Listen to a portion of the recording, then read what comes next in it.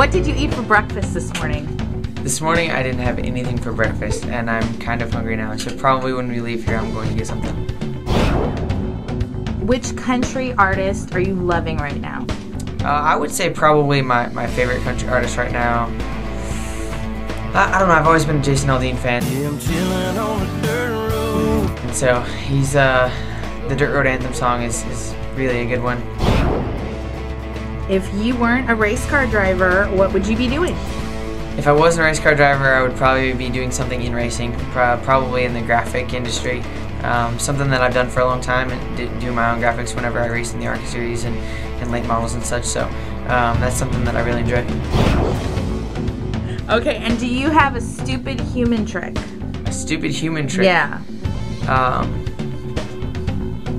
I don't think I have one. You don't have one? Oh, to me. Does he have a stupid human I don't think so. I don't think so. I think, Nothing? I, I think I'm pretty normal.